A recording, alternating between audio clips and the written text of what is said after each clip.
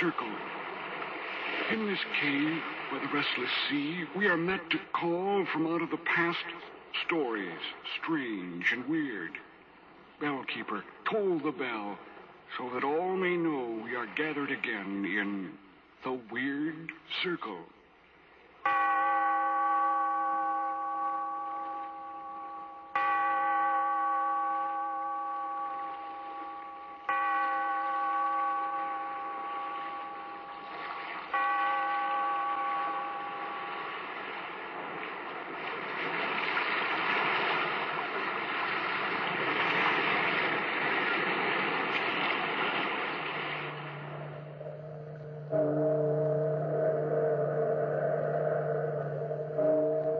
Out of the past, phantoms of a world gone by speak again the immortal tale, the Great Plague.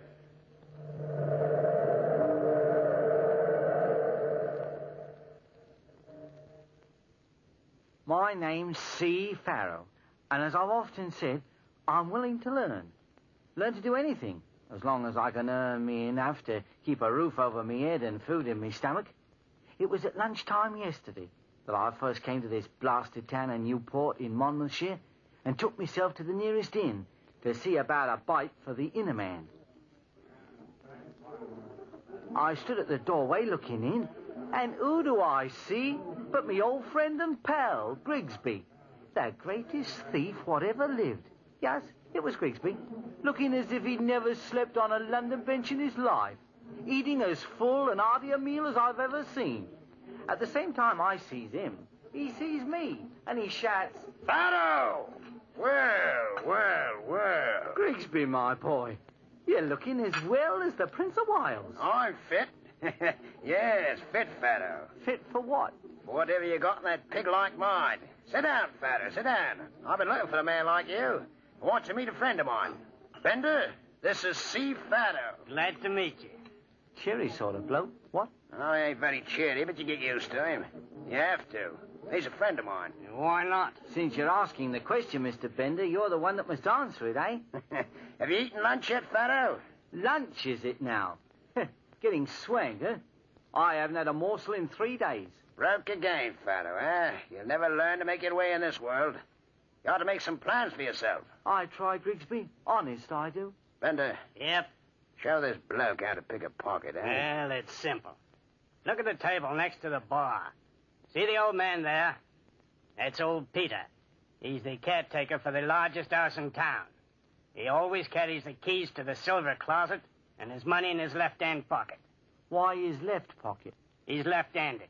Live and learn, Farrow. Live and learn. Now, all I have to do is walk by him, pass the time of day pleasant like, pick his pocket, and we'll all have lunch money, and my friend Grigsby will have the silver closet keys. A very important item. Ooh, what if you get caught? Bender caught. Never. I taught him how to do it. Now, watch and learn, you boy. I'll make something out of you yet. I'm watching. Go ahead, Bender. Keep your eye on me. I'll be right back. See the way he walks across the room, just as if he doesn't care? Swaggering, swinging his shoulders like? Yes, I'm watching. Eh, He walks easy. Nah, look. He stops at the man's table, talks a while, smiling all the time. What's he saying? How should I know, Fanner? No matter what a man says. What matters is he's saying, just saying it. Now, watch his hand there. Stealing into the left pocket there. Ah, he's got it. He has for a fact. Yeah, he's got the wallet. And the keys, too. Oh, it's quite a trick. yes, quite a trick. And I taught it to him. If you want to learn something, Fatto, I told you before, stick to Grigsby and you make commit to money. I got big plans for myself this night with old Peter's silver closet keys. Should I uh, count you in? As I've said before, and I'm saying it again, I'm willing to learn. So I stuck with Grigsby and Bender. We left the inn in the late afternoon. Grigsby had big plans on his mind, it seems. He was walking fast down the village road toward the biggest house in the town. Me and Bender was walking behind. Come on, you two. Get a move on, will you? Can't walk faster than the legs will go. Uh, having you two on my hands, I'll never get anything done tonight. Oh, I'm sorry, Grigsby, but I'm hurrying as best I can. What are you up to? Look at the end of the road there. That's the house ahead of us. You know who that house belongs to? How should I know? It belongs to the richest family in the old county. The family's out of town, I hear. That's right, Bender. Family's out of town. And the only person living there is old Peter and his young granddaughter, Evie. Imagine. Old Peter alone, alone with a young child. yes, imagine. An old man and a young girl without any protection.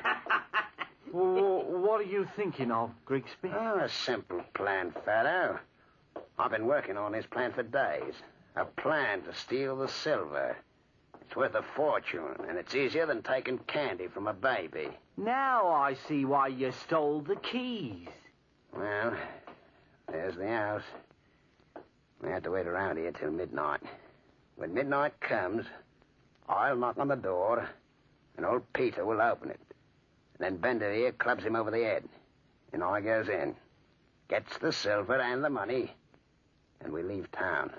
What about the child? Ah, that's where you come into the plan, Fatto. You're a little fellow. Good at crawling through windows. What do I do when I gets through the window? Find the child and get it out of the way before she starts to shriek and holler. I, I ain't no child murderer, Grigsby. I ain't. I, I gotta teach you the hard way, Fatto, or you never learn at all. But, but I... Don't butt me, Fatto, or I'll cut your throat for you. I'll cut his throat for him. You heard him, Fatto. Bender's good at cutting throats. I taught him. But I got a, a wife and kid of me own. I can't go fighting little children. Use the knife, Bender. Good idea. No, no, no, wait a minute. Now, don't be hasty. I never was a man not to change my mind. Change his mind. So you'll change your mind, eh? I thought you'd come to my way of looking at it. Yeah, look over there, playing in the yard. It's the little girl herself, all alone. Now, if you're smart, Fatto, you'll take a word of advice. I don't think I need no advice right now. You might need it this evening when we start to work. Now, talk to the little girl for a while. Find out what room she lives in. And you might even ask what kind of silver the family's hoarding. Oh, she's a pretty little thing. Look at her, playing by herself, nice as you please. like a regular little lady. It's uh, easier to kill a child than a grown-up. They die easy, fast. Go on, Bender. Don't joke with a bloke. He's getting pale. Go on, Farrow. Are you going to talk to her, or do I have to convince you with me knife? I'll talk to her. We'll just sit over on the side of the road and watch you. I don't need no watching. we'll watch anyway. Just walk right up to her and speak. Hello, little girl. Who are you? Who am I? Why, I, I'm a friend of yours. Do you know my grandfather, old Peter? You know, not personally, but I, I've heard of him. You know my name? Now, what is your name? Evie. I live in that house over there. It's a right nice house, Evie. Uh, which room is your room? Don't you know? Should I? Of course, everybody knows Evie's room. Grandfather says he says it's 'cause it's a special safe room just for me. Guardian angels watch over me all the time. Of course. Where is your room? On the second floor in the back of the building right over the kitchen entrance. There's a special porch off my room. A porch? Yes. Now I told you about me. What about you? What's your name? My name's C. Farrow. C. Farrell? That's a funny name. Where do you live? Any place I can find for me to live? On the grass or in a haystack, in an alley, in a doorway of a shop? Is there a second floor for you to sleep on in all these places? I suppose so, Evie. I like you. Wish I could stay with you longer, but I can't. Well, where are you going? Home. My grandfather told me to come in promptly at five or I'll catch cold. He worries about me awful. He always does. Goodbye, C. Farrell. Goodbye, Evie. Bye. Bye. Bye. Goodbye. Bye. Goodbye, Evie. Goodbye. Ah, pretty little girl she is. Nice work, Fado. Quite nice work. if I say so myself, I couldn't have done a better job. One would almost think the little girl liked you. One would, eh? Well, m- maybe she did. That don't make no difference now. We just take a look around the grounds and then wait. Amanda, wait till midnight. Stick around, fella. You're going to learn something tonight. Till midnight. Might even get a few hours sleep. Grigsby led the way, and as I've said, I'm willing to learn. As we walked around the ground, I kept looking at the second floor, and my heart sunk. Child killing. It just ain't in my line. For an hour or so, Grigsby studied the land, and then he led us to a little grove on one side of the field, where we sat down to wait. Bender, the big fella, fell asleep. Grigsby kept one eye on me and one eye on the house, and all of a sudden, I realized it was starting to rain. But, rain or no rain, we just waited and waited until the church clock struck twelve.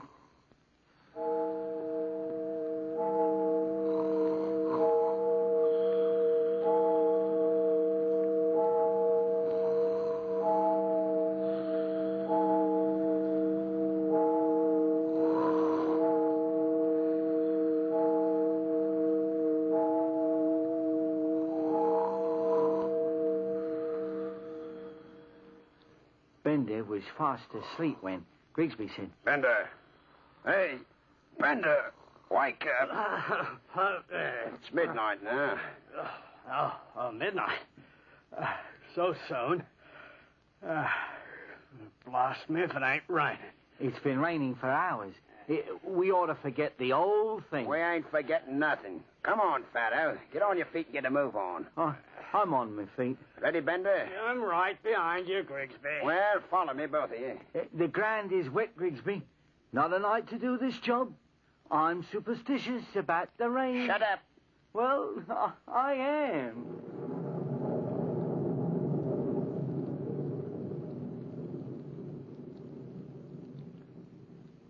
Well, gentlemen, there's the house right ahead of us. Imagine everyone's sound asleep. Fatto, Yes, Grigsby? we'll walk you to the back of the house and give you a boost up over the ledge of the kitchen porch. Yes, Grigsby. Go on, go on, get a move on. I'm moving, I'm moving. Both of you. There's the porch. You think you can climb it, Fatto? I don't know. Honest, I Ah, don't. Ah, you better now. Climb up on that ledge and stay there until you hear me pound on the front door. Then what? When I pound on that door, climb in that open window and take care of that kid. She won't feel nothing. Just one quick jab in the heart and she's dead. Here, Fado. Just as a special favor to you, I'll lend you my own knife. Well, go on, take it. Yes, uh, uh, all right, I will. well, Fatto, you ready? I'm as ready as I'll ever be, I suppose. Climb on me back and I'll give you a boost to the ledge. Now, don't forget, Fatto, if that child ain't dead, you will be.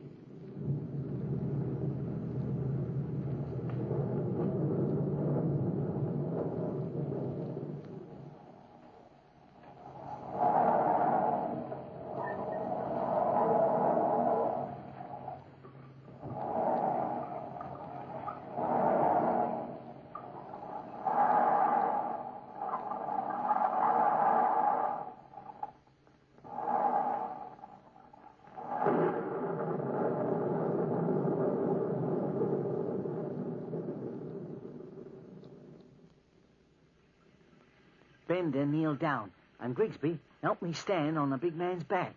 I grasped one pole of the porch, which was just beneath the child's window, and then, pulling myself up inch by inch, I climbed from the ground to the roof of the porch.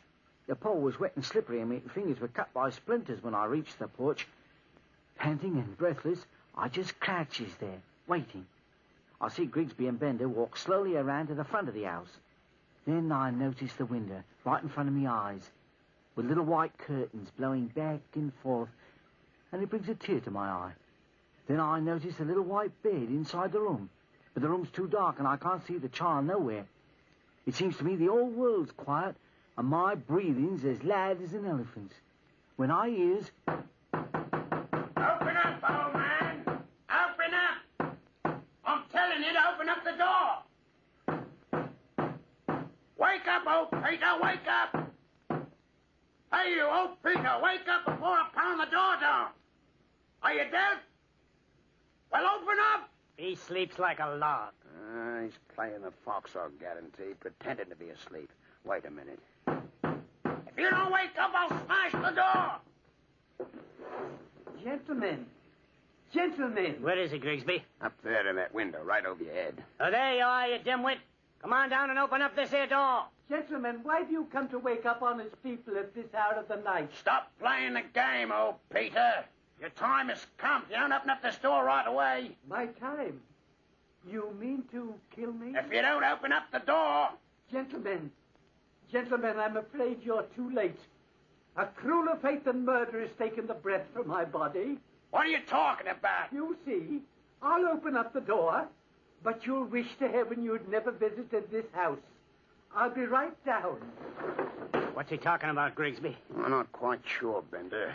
Not quite sure. I wonder how that fool Fato's done. Oh, he's done his job. I know Fatto. Uh, I wonder how long he'll keep us waiting in this rain. If he don't answer soon, we'll break in the window on the side of the house. Oh, here he is. Come in. Come into the light where I can see you. Oh, woe unto you, gentlemen, for trespassing this house tonight. What are you talking about anyway? Look at my face, gentlemen. The black rings under my eyes, and the black splotches on my arms. Do you have any idea what that is? Black rings. Black splotches. Blimey, Grigsby. It's the plague. The Black Plague. Yes, the Black Plague. That's what it is.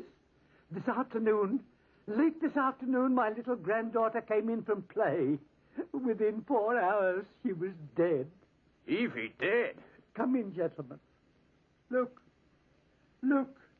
There she lies on the stairs. Grigsby, look. Look well, gentlemen, because within the half hour I should be lying by her side.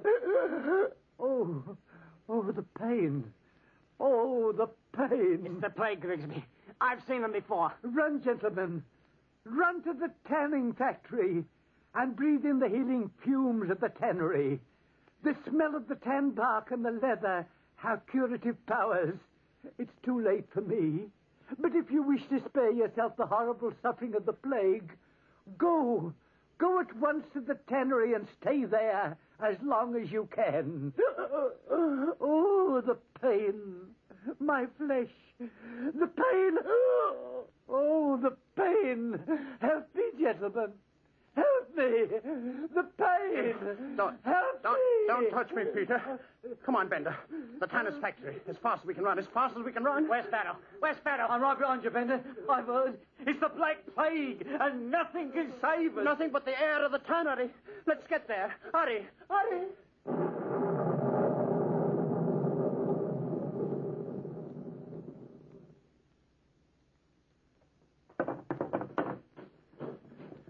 Bender. Aye.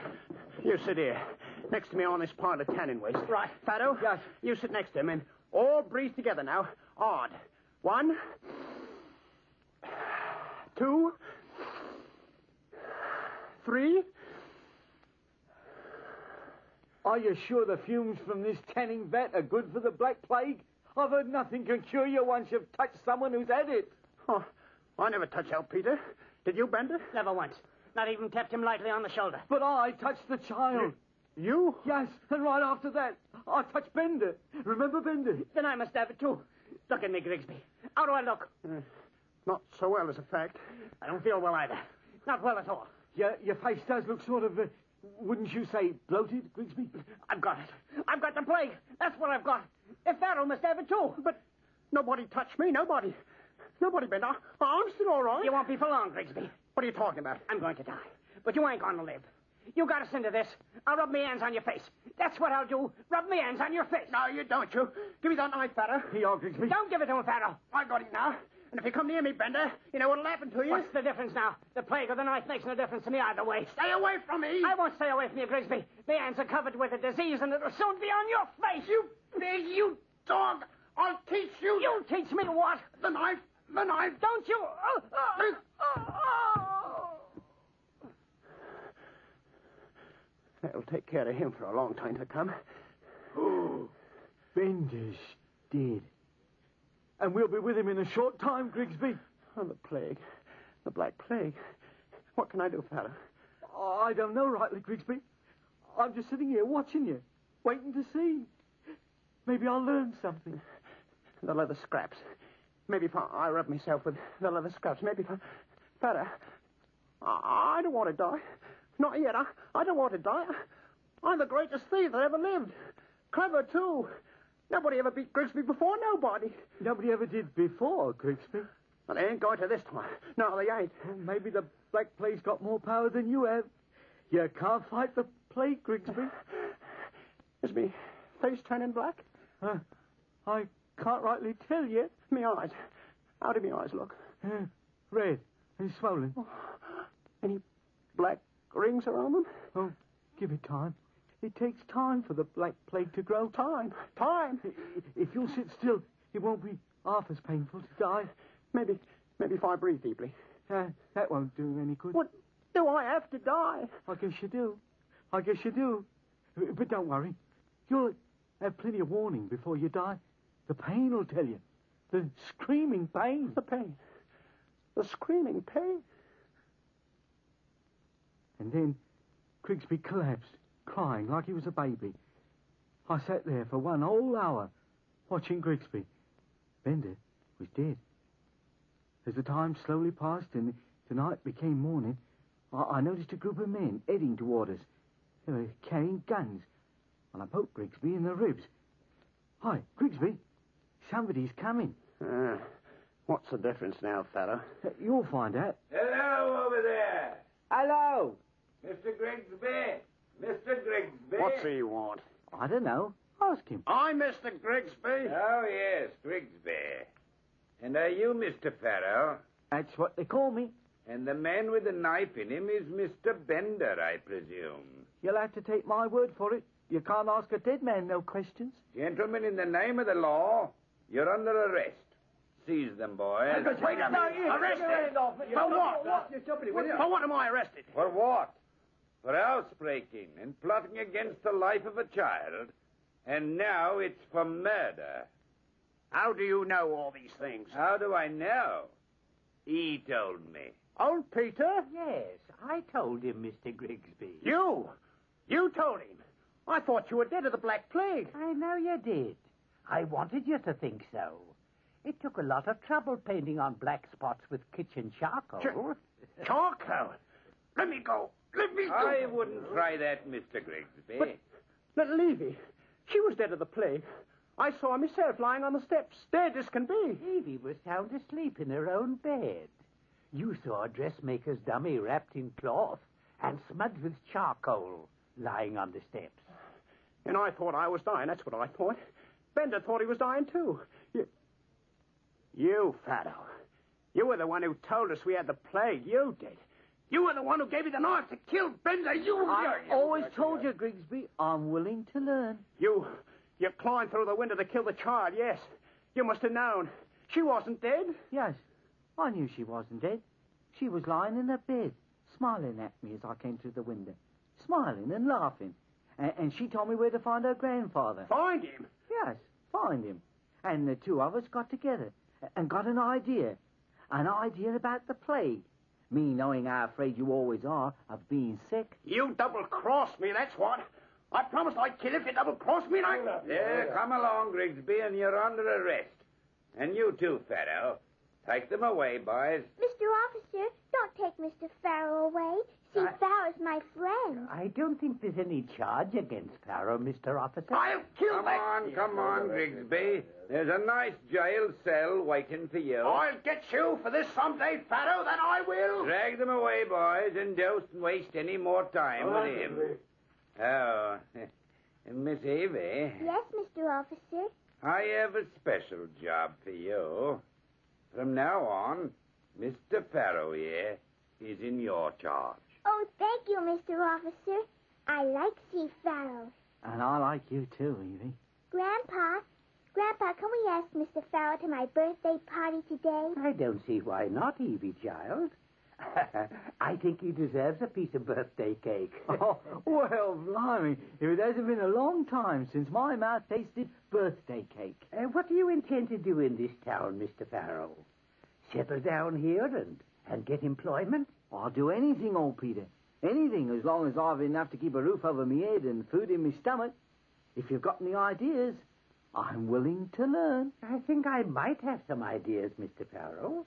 It's just possible that Evie and I both might.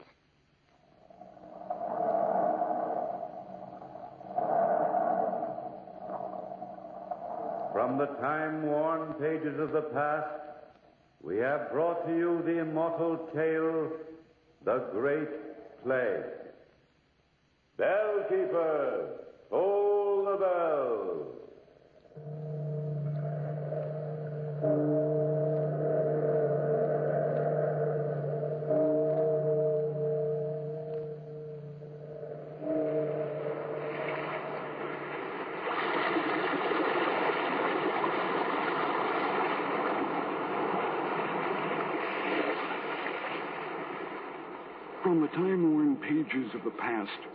Have heard another immortal tale in The Weird Circle.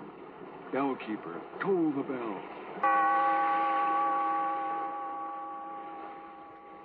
Be here in this lonely cave by the restless sea once again next time for another immortal tale